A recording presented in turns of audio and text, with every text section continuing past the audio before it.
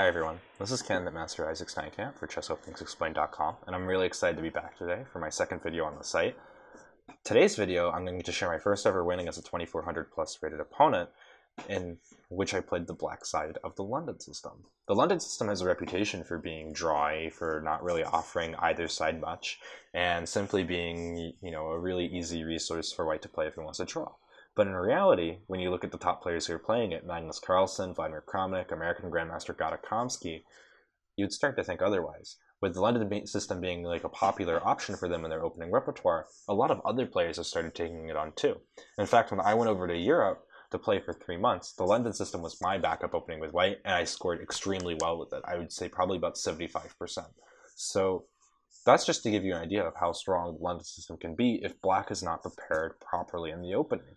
Uh, white usually tries to find a really small advantage and continues to press and gets a really easy game without having to study that much theory. I'm really happy with the game that I'm about to share with you guys today because I found a line for black that poses a lot of problems for the London system. And if the white player is not prepared, it's white who's struggling to find equality. So let's go ahead and get into it. So after d4, there's a variety of ways to get into the London system. I'm going to start with how you could get there through the chessopeningsexplained.com repertoire, because of course if you play the Nimzo Indian, you'll be playing knight f6, expecting this move c4, after which e6, bishop b4, and the usual style Nimzo Indian play. But okay, we're studying the London system, and white can play this trendy move, bishop to f4. Now, one of the main ideas of this bishop f4 move is by not committing this knight yet onto f3, we give ourselves an added way of playing for the center. So let's say if black is a King's Indian or Grunfeld player, after g6 he would run into a little bit of trouble after this move knight to c3. Should black play bishop to g7, white will play e4, and we have full control over the center, and black is going to have to settle for a kind of Pirc variation. Another idea is that should, you know, black play uh, black try to play d5, we can play queen d2. And if black tries to get some sort of queenside counterplay going with c6, already this move f3 is quite strong with d8 e4. I won a really nice game in Austria here in this line for white. So this is the main idea with bishop to f4 against g6. Of course, we're not King's Indian players, you know, as chess openings explained to players, we're looking for standard Nimzo play. But if you're going to try to follow the dogmatic style of using the same move order, for the London system, you might not be happy with the position that you get after e6, e3, d5, knight d2, c5, c3, knight c6, knight f3. And this is a fairly standard position that you could reach in the London system. But the problem is pretty obvious. This bishop on c8 is never really going to be able to find daylight because of the e6 and d5 pawns. By being on the wrong side of the pawn chain, obviously, if we were using very elementary terms of the word, this is a bad bishop on c8. So even though the position is considered relatively equal, thanks to black's ability to play for the center, it's really difficult sometimes to figure out what the right plan is with the c8 bishop. And I think when I look at a lot of London system games, this is exactly where black goes wrong. So even though this is a perfectly fine system for black to play, I would recommend the line that I played in the London uh, as the black side of the London system in the game I'm about to show you. And you can reach that position by playing 2 to d5, transposing to my game. So my game actually started d4, d5, I was hoping for a queen's gambit, declined, or some sort of similar opening. But after bishop to f4, knight f6, we've reached exactly the same position, and after this telling move e3, alas, we've reached the London system. So I played c5, a key move for contesting the center. We're not really that worried about dc4. There's always queen a5 to pick up the pawn again, where we can simply move this e pawn and pick up the c5 pawn thanks to the f8 bishop.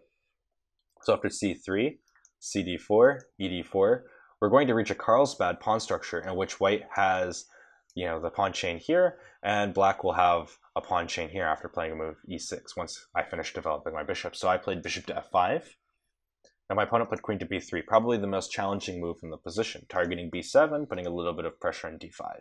Now, I had a game in Germany at the Bad Wörishofen Open in uh, last March where my opponent, via transposition, we reached this position. So knight d2, knight c6, knight gf3, and e6. We reached a position like this where white played bishop to e2, I played bishop to d6, and after trading off the dark squared bishops, black's plan really suggested itself. a6, b5, containing white's queenside and getting ready for the minority attack. And meanwhile, white had to try to find ways to use this e5 square disadvantage, and it was very difficult, after, you know, to play for this move knight to e5. So these positions, I would say, even though are roughly equal, are slightly more favorable from black because the plan is able to suggest itself. Um, so white obviously being 2400 and playing against you know some guy like me obviously wants a little bit more than a position where he's fighting for a draw. So he played this move queen to b3. Okay, well I played queen to c8. The idea simply being I'm supporting my b7 pawn and I'm getting ready to develop somewhat normally. For those of you guys who played the Caro-Kann against 1e4, you guys could actually reach a very similar position in the exchange variation of the Caro-Kann. So knight to d2, I played knight to c6, just developing my last knight, then gf3 and e6. So already we have a Carlsbad pawn structure where I have this, you know, pawn chain from f7 to d5, and white has this pawn chain from d4 to b2. Black's idea is usually to play for a minority attack, whereas white's idea is to play on the king side in the center through this e5 square. And that's one of the problems with this line, I think, for white, is that with this queen on b3, at some point white will have to waste some time to bring this queen back and engage on the king side. And that's a tempo that I'm hoping to exploit should white play a move like bishop to e2 or h3. The idea is simply that I'll play a move like h6 to make sure I can preserve this bishop in the case of a knight h4. And I'll play for bishop e7, castles, and my plan, again, fairly easily suggests itself, a6, b5. So this is a little bit too simple. I think, uh, for white to be allowing this, and that's why the main line in this position is to play knight to h4. White is trying to compensate by the placement of his b3 queen and um, not really knowing where this bishop on f1 should go by trying to win the bishop pair, creating an imbalance in the position where, for the time that it will take him to remaneuver and find the best places for his pieces, at the very least, he is creating a small, you know, advantage with the bishop pair. So uh, instinct would be to play bishop to g6, but of course mainline is actually to play bishop to e4. And the idea is that I want to pro provoke f3, which is exactly what happens in the game, and the game is actually fairly instructive as to why f3 is not that great of a move. Um, of course, the main line continues knight takes e4, and there's two ways to continue here, obviously, is there's two different captures, the first being knight takes e4. I think this is a great way for black to play for equality, but it's a little bit more difficult to play for anything more. I mean, keep in mind we have just given um, we have just given white the bishop pair, and you know our knight is on e4, but we need a little bit more than this, I think, to be playing for more than just a draw. And that's why I'm going to recommend the move d takes e4. Already we can see that this knight is really without moves thanks to this e4 pawn, and that's why white must play this move g3. And after a move like bishop to e7, knight to g2, black has a really nice plan of playing his knight to d5 and playing f5. In fact, Sergei Karjakin executed this exact plan against Georg Meier in the recent Speed Chess Championships on chess.com. Um, so obviously, if Sergei Karjakin is playing it, uh, that's not exactly bad company to be with at all. So of course, my opponent played f3, the move that we're going to talk about in today's video. And after bishop g6, he happily grabbed the bishop pair, and we reached a nice position. This being a g60 game, we were both playing a little bit quickly, so bishop d3, bishop e7. I'll get back to this move in a second. Um, but we actually reached a critical position on the next move where white played this move, a4. A move that seems really natural. White is going to try to stop the queenside expansion for black. Black's plan, obviously, before this move was to play a6 and b5 and try to get a nice position. But now we realize that after a move like a6, white is going to slowly put a lot of pressure on black. The idea being maybe to play queen c2, b4, maybe find a nice way to get this knight all the way to c5 through b3. White has a really nice clamp. This b7 pawn is going to be a long-term weakness. So if black plays really simple moves, he could very easily get into a slightly worse position. But one of the problems with a4 is that white still has yet to really figure out where is this king going. Of course, he could have castled on this move, which actually turns out to be the best move in the position, but now he has to constantly be worried about the pressure on h2. You know, black still has the same plan of playing a6 and b5, I think black has a fairly nice position, if, especially if we can trade off these dark squared bishops. Then I'll play queen to c7 and put even more pressure on h2. So this is already not such an easy decision to make, but in playing a4, if we're not going to castle kingside, we definitely can't keep the king in the center, so where is this king going? If it goes to the queen side as was nearing the game, it opens up white to a lot of tactical ideas. So in the game, he played a4, and it's up to black right now to point out that white hasn't exactly finished his opening development. Uh, black's king is a little bit safer than white's, so it's it's okay for black to be looking for something a little bit more dynamic. Um, so let's see what you can find. I'd recommend that you pause your videos and try to find the best resource for black. Okay, well, if you haven't found the resource yet, I again would recommend that you pause the video. But the move that I found that guarantees black a significant advantage is this move knight to h5. And even though the rest of the game seems pretty simple, I think it all stems from this maneuver. Knight to h5, forcing move. White needs to play bishop to e3. And my next move was really nice, knight to g3. Of course, we have a pin here on the h-file, and because white didn't connect his rooks by castling, he can't play this move hg3 because of rook takes h1, and we'll pick up the other rook as well. So rook to g1 is more or less forced. I played this move knight f5. Now, if I'd had a little bit more time, I probably would have looked a little bit more into this move, takes h2. What I didn't like about this on a g60 game was it just didn't feel practical to self-pin my pieces and allow this threat of knight to f1. This felt a little bit too much. So I played knight f5 because it forces white to give up the bishop pair. And without the bishop pair, it's not exactly clear what white has in the position. He can't castle kingside. By playing a4, he can't easily castle queenside, and this king is going to be a constant source of pain. Of course, should black, you know, white try to preserve the bishop pair, we're going to pick up this h2 pawn and have a fairly nice, stable advantage. So rook takes h2. Okay, so after knight to f5, white decided that it's time to give up the bishop pair. Bishop takes f5, g takes f5, h3, trying to solidify the pawn structure.